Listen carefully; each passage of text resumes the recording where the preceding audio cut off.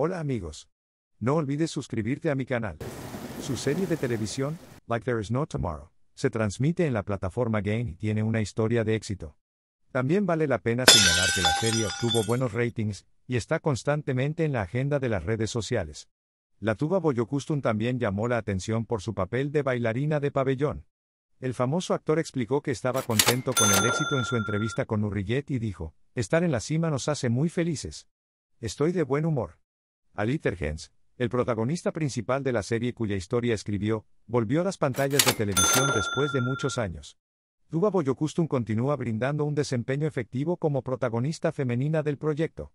Tuba Boyokustun afirmó que los comentarios positivos del público la hicieron muy feliz y dijo, es un proyecto en el que participé con mucho gusto. Los comentarios que recibo me hacen muy feliz. Trabajo con Ali Tergens. Es un guion tan bueno que todo es claro y obvio. No lo podía creer cuando llegó la oferta. Estoy tan feliz. Me alegré de que él también me eligiera.